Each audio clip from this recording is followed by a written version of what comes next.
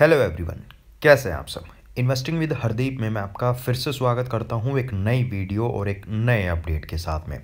बात करूँगा इस वीडियो के अंदर मैं कृतिका वायर्स की और जिस कंपनी ने रिसेंटली बोनस और स्प्लिट दिया था और उसके बावजूद जो है, अब एक थोड़ी सी गिरावट के चांसेस जो है स्टॉक में लगातार बनते जा रहे हैं, क्योंकि इस स्टॉक को जो लिस्ट हुए है टाइम हुआ है, काफ़ी कम हुआ और इस बीच में स्प्लिट दे देना बहुत बड़ी बात होती है एक छोटी कंपनी के लिए, एक पैनी शेयर कंपनी के लिए, और उसके बावजूद भी ये स्टॉक अभी तक सस्टेन करता हुआ हमें नज़र आ रहा। तो ऐसे में क्या कृतिका वायर्स के अंदर इन्वेस्टमेंट करना चाहिए, या फिर अभी थोड़ा सा और वेट करना चाहिए? लॉन्ग टर्म के लिए कैसा स्टॉक है? डिस्कस करेंगे इस वीडियो में। और अगर आपने चैनल पे पहली बार विज़िट किया है तो चैनल को सब्सक्राइब करके, बेल आइकन को प्रेस करके ऑल पे ज़रूर सेलेक्ट कर लीजिए, ताकि जैसे ही वीडियो अपलोड हो, आप लोगों तक तुरंत नोटिफिकेशन पहुँच जाए।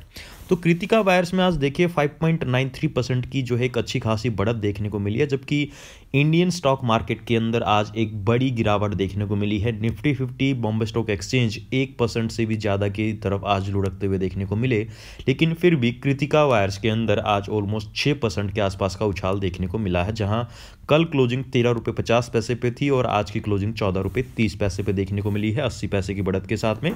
और अगर आप इसका पाँच दिन का चार्ट देखेंगे तो सिर्फ़ दो परसेंट के आसपास तक के ही रिटर्न्स जो हैं, बीते पाँच दिनों में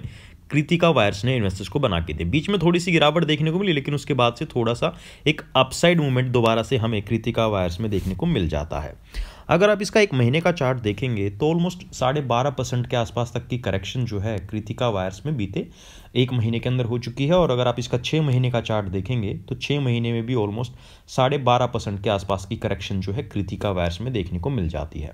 अब पूरी तरह से गिरावट देखें तो ऑलमोस्ट जो है छियासठ परसेंट के आसपास तक की करेक्शन जो है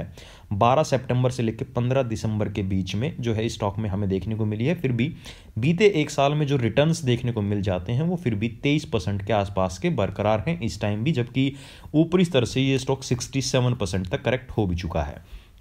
मैक्सिमस रिटर्न की अगर बात करूँ तो मैक्सिमम रिटर्न्स जो है 1.85 परसेंट के ही देखने को मिल जाते हैं, क्योंकि ऑलमोस्ट छः मई को जो है कंपनी लिस्ट हुई थी और उसके बावजूद जो है स्टॉक ने एक पॉजिटिव मोमेंटम दिखाया। और रिटर्न्स अच्छे बनाए शॉर्ट टर्म में रिटर्न्स अच्छे बना के दिए शॉर्ट टर्म जिनका नज़रिया था और उसके बावजूद जो है एक करेक्शन का दौर चला और उसमें से ऑलमोस्ट छियासठ परसेंट के आसपास तक की करेक्शन कृतिका वायर्स में देखने को मिल जाती है। अब अगर इसका टेक्निकल चार्ट देखें। जब कंपनी ने स्प्लिट की अनाउंसमेंट की थी तो उस टाइम जो है एक लगातार अच्छा खासा पॉजिटिव मोमेंटम आया था और उस बीच में ऑलमोस्ट हंड्रेड परसेंट के रिटर्न्स कृतिका वायर्स ने इन्वेस्टर्स को बना के दिए। लेकिन उसके बाद जो है सेम एज इट इज़ जितनी तेज़ी दिखाई थी, उसके बावजूद जैसे ही स्प्लिट अनाउंस हुआ स्प्लिट रिकॉर्ड डेट हुई, उसके बाद एज इट इज़ जो है उतनी ही गिरावट जो है वो दोबारा से हमें कृतिका वायर्स में देखने को मिली और इसका जो रिलेटिव स्ट्रेंथ इंडेक्स है, वो आज की तेज़ी के बाद जो है almost twenty nine point four three percent के आसपास जाता हुआ नज़र आया, जहाँ एक अंडर वैल्यूड कंडीशन में इस टाइम कृतिका वायर्स का रिलेटिव स्ट्रेंथ इंडेक्स है, जबकि मूविंग एवरेज जो है फोर्टीन पॉइंट टू सिक्स है और स्टॉक का करंट प्राइस ऑलमोस्ट चौदह रुपये अट्ठारह पैसे पे है। कृतिका वायर्स देखिए इनकॉर्पोरेटेड इन 2004 और Kritika wires limited is engaged in the manufacturing all of type of steel wires and galvanized wire to cater to the needs of the state electricity boards, Power Grid Corporation of India Limited, etc.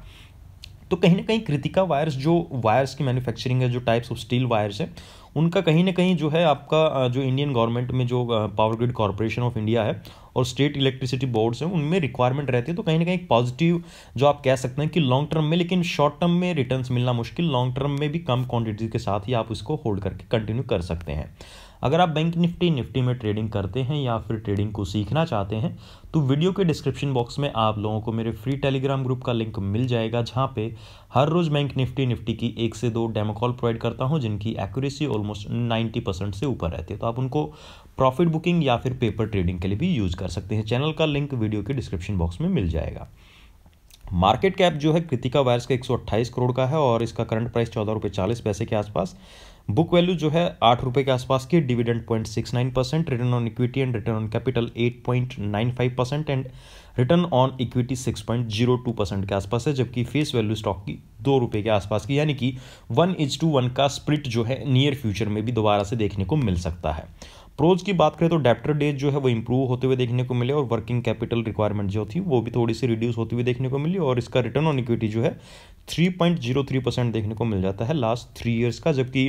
Quarter results देखें तो sales जो रही हैं 2022 के अंदर quarter to के अंदर, वो 61 करोड़ की रही, जिसमें से ऑपरेटिंग प्रॉफिट 95 लाख का रहा। और अगर ईयर ऑन ईयर बेसिस पे प्रॉफिट एंड लॉस की बात करूँ तो ऑपरेटिंग प्रॉफिट जो है अब की बार जो है ऑलमोस्ट 10 करोड़ के आसपास का हमें कृतिका वायर्स का देखने को मिला है। बैलेंस शीट की बात करें तो रिज़र्व कंपनी के पास 53 करोड़ हैं और बोरिंग्स यानी कि कर्जा कंपनी के ऊपर 39 करोड़ का। तो लॉन्ग टर्म कैरी फॉरवर्ड किया जा सकता है, लेकिन शॉर्ट टर्म में रिटर्न मिलना थोड़ा सा मुश्किल हमें कृतिका वायर्स में देखने को मिल सकता है।